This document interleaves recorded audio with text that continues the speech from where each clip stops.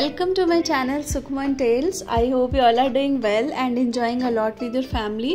तो फ्रेंड्स आज का ये व्लॉग बहुत बहुत बहुत टाइम के बाद आ रहा है और क्यों इतना लंबा गैप हुआ, ये सब कुछ आगे पता चलेगा। फ़िलहाल तो सुबह का टाइम है। गुड मॉर्निंग आप सभी को।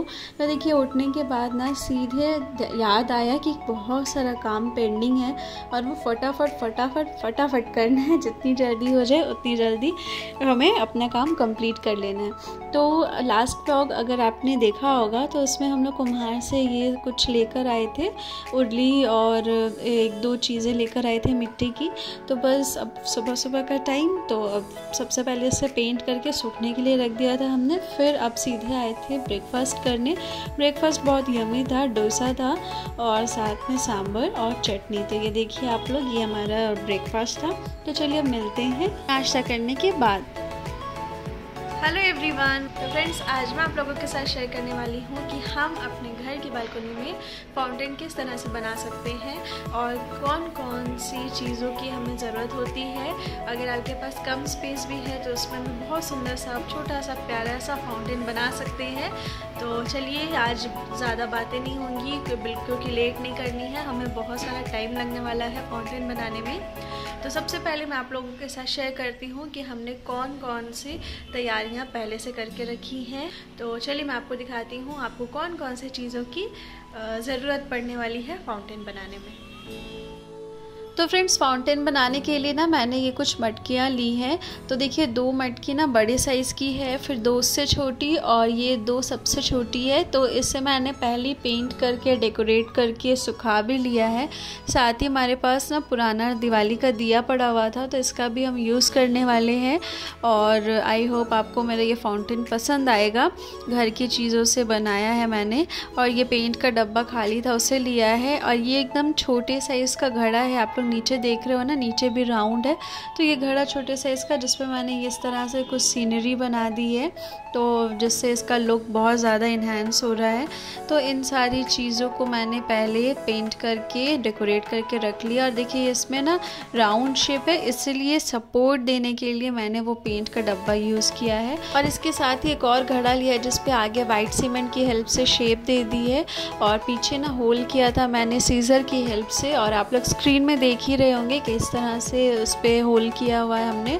और इसके साथ हमें ये मोटर लेनी है, जो कूलर वगैरह में लगती है ना, वो वाली मोटर ईज़िली अवेलेबल होती है शॉप्स पे। और इसकी ना वायर बहुत छोटी थी तो मैंने और वायर इस पर अटैच कर दी सेलोटेप की हेल्प से तो जिससे थोड़ी सी बड़ी हो गई। और इसके साथ मैंने ये ग्रीन कलर का पाइप लिया है। और ये बहुत बड़ा पाइप था तो मैंने अपने कन्वीनियंस के हिसाब से ना इसे कट कर लिया। और आपको ऐसा पाइप लेना है, जो एकदम फिक्स हो जाए। जैसे ये आपको दिख रहा है ना, हमारा पाइप जो है एकदम टाइटली उस पर फिक्स्ड हो गया तो आपको भी ऐसे ही पाइप लेना है जो उस पर फिक्स हो जाए, यानी पानी हमारा लीक नहीं करना चाहिए कहीं से भी। तो पाइप का एक पार्ट तो हमने मोटर में डाल दिया है, उसको फिक्स कर दिया और दूसरे पार्ट को ना हमने ये जो मटकी में होल किया था, इसके अंदर डालना है। तो ऐसे ही मैंने पाइप लिया है जो कि थोड़ा सा फ्लेक्सिबल है और ईज़िली इसके अंदर इंसर्ट हो जाए। तो फ्रेंड्स देखिए, ये मैं पाइप इंसर्ट कर तो रही है, लेकिन ना हो नहीं रहा है, इसलिए होल को थोड़ा सा और बड़ा किया है सीज़र की हेल्प से, और अब देखिए ईज़िली इंसर्ट हो गया है। और इसके बाद ना मैंने एक टायर लिया है, उसे भी पेंट कर लिया, और ये उर्ली सुबह मैंने पेंट की थी, आप लोगों ने देखा ही है। उसके बाद मेरे पास ये वुडन प्लैंक्स पड़े थे, दो अलग अलग साइज़ के तो इसे भी मैंने यूज़ करना है। तो देखिए एक, एक कोट ही से पेंट कर लिया है इसे भी ताकि देखने में थोड़ा सा अच्छा लुक लगे। तो ये सारे कुछ चीज़ें हैं जो मैंने पहले से करके रखी है। ये कुछ स्टोन्स भी मैंने मंगवाए थे और कुछ खुद जाके लिए हैं। तो ये सारे मैंने कर लिए पहले से तैयारियाँ। तो फ्रेंड्स, इसके बाद ना हमारा सफ़ाई अभियान शुरू हो चुका है और इस जगह को हमने बहुत ही अच्छे से क्लीन करना है। तो चलिए फटाफट से झाड़ू लगाते हैं।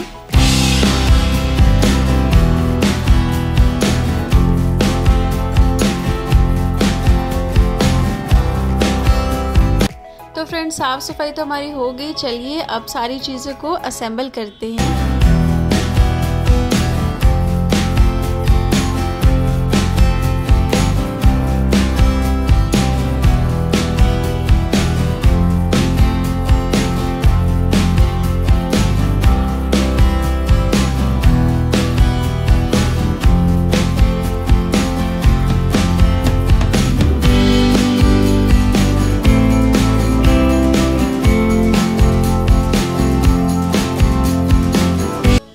ये देखिए, आधी चीज़ों को हमने असेंबल कर दिया है और इसके बाद कुछ इस तरह का लुक लग रहा है। अभी फ़िलहाल तो कंप्लीट नहीं हुआ है, थोड़ा सा टाइम और है। प्लग पॉइंट भी यहीं है हमारा पास में।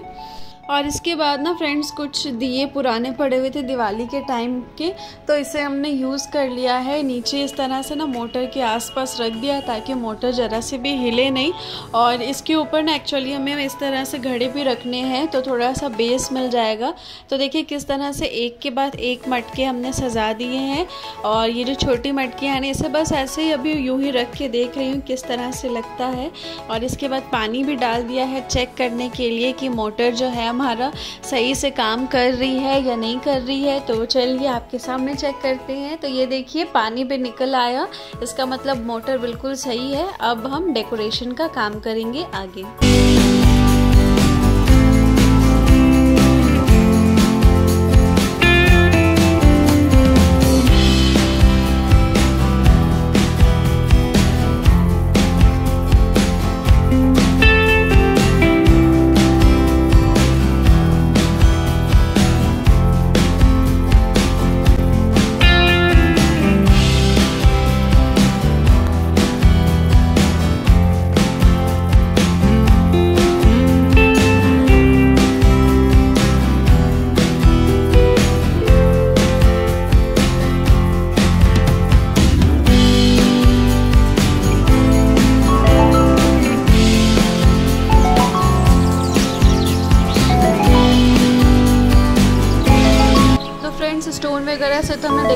कर दिया है। अब आ रही है मनी प्लांट लगाने की छोटी छोटी प्यारी प्यारी मटकियों में। तो ये देखिए कितना खूबसूरत लग रहा है। तो मैंने ना मनी प्लांट से ही सारा फाउंटेन को डेकोरेट करना है, क्योंकि मुझे बहुत ज़्यादा अच्छा लगता है मनी प्लांट और ये एक प्लांट मैंने और डाल दिया है छोटी मटकी में, क्योंकि मम्मा बहुत गुस्सा कर रहे थे, ज़्यादा मनी प्लांट नहीं तोड़ना चाहिए। तो देखिए, इस तरह से कुछ मैंने सजाया है। फाइनल लुक आपको। आगे देखने को मिलेगा तो बने रहिए वीडियो में और ब्लॉग को पूरा ज़रूर और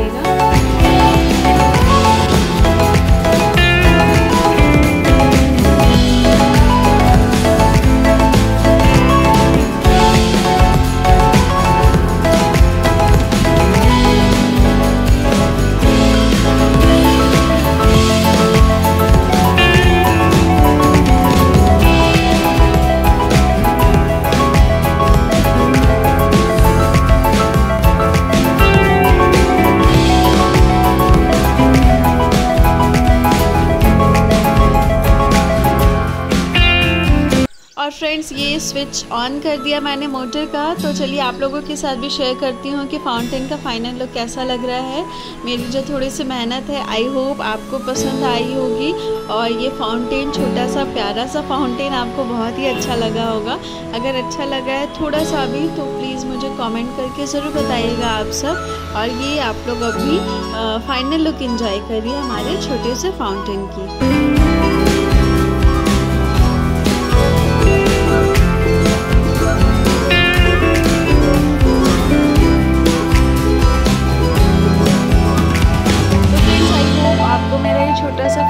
बहुत पसंद आया होगा।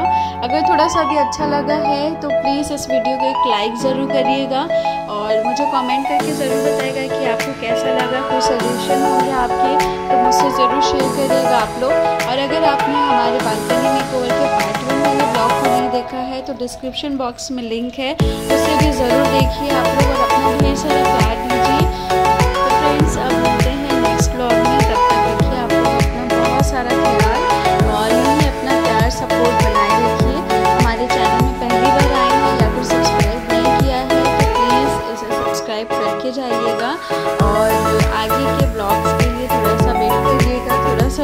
और आगे के